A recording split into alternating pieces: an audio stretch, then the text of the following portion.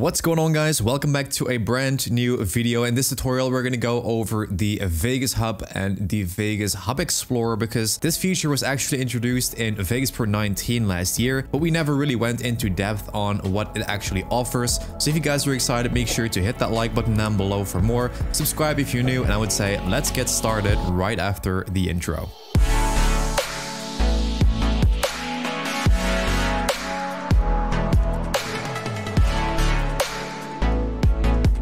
Alright guys, so we have Vegas Pro 20 open and as you can see right here we have two buttons that say Vegas Hub and the Hub Explorer. So if you click on Vegas Hub right here as you can see we have Vegas content, we have expansion packs, we have social media, we have example project, what's new, how-to videos, community, and we have obviously my profile. All right, so if you click on the first tab, Vegas content, as you notice, we have a lot of really, really cool stock footage that we can use. So right here, we also have a search bar. So let's say that you want to have like stock footage from, let's say a field. If you type that in, it's actually going to search for any kind of matching content. As you notice right here, we have all kinds of clips. So if you click on the clip right here, we also have a preview to make sure that it is actually usable before we unnecessarily download it. So if it's usable right here, we have the download button and then we can also choose the quality. So we're going to just pick the 1080p for now and then it's going to download that right here as you notice and then we can just go and drag that into our timeline it is actually downloading straight into our downloads folder on windows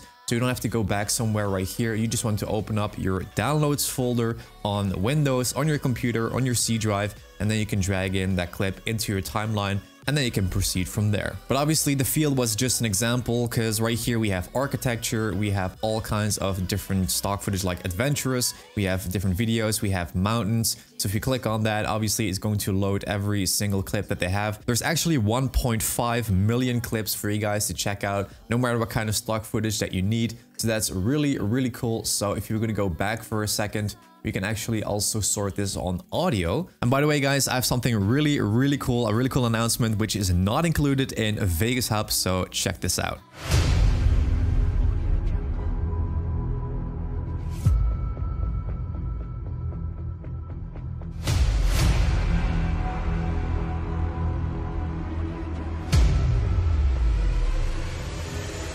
So that's right guys, we teamed up with Action VFX once again to promote this Black Friday sale, over 55% off on the whole library. You guys know how awesome Action VFX is, they always provide you with the best material. All the info is down in the description. It is for a limited time only, so don't sleep on these deals. And let's continue with the video.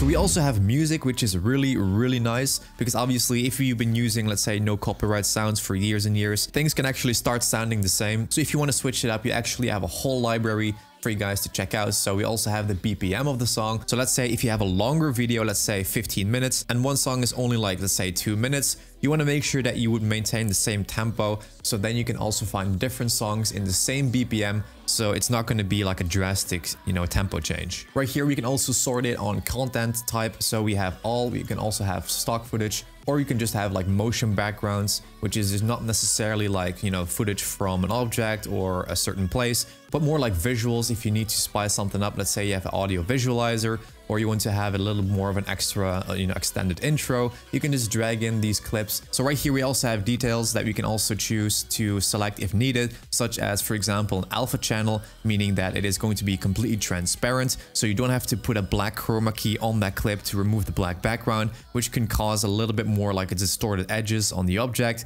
So this is actually really cool that you can just drag that into your timeline. You want to right click on the clip and then change the alpha channel to straight unmatted. And then we have a really nice crystal clear background without any kind of, you know, weird stuff going on on the edges because of the chroma key. Right here, you can also choose the resolution. If you have a preferred one, you can have HD and 4K and also the frame rate, obviously. So we can have like 24 frames, 25, but if you want to have the smoothest, I would actually recommend to go for 50 or 60. So the Vegas Hub, you guys know, it's more like stock footage, stock audio. It's really, really cool. You guys know exactly how to search for certain footage by using the search bar. So let's move on to the Hub Explorer. So this one is pretty much what we downloaded so far from the Vegas Hub. If you have one, that's why this field clip is here. But then the second button right here, it says file drop. And this pretty much means that we can also like synchronize files into one certain place onto your computer. So let's say that you're dragging in files from your downloads There are a couple files from your documents, like and then a few files from an external hard drive. It is actually pretty hard to keep everything in mind where everything is if you need to locate them.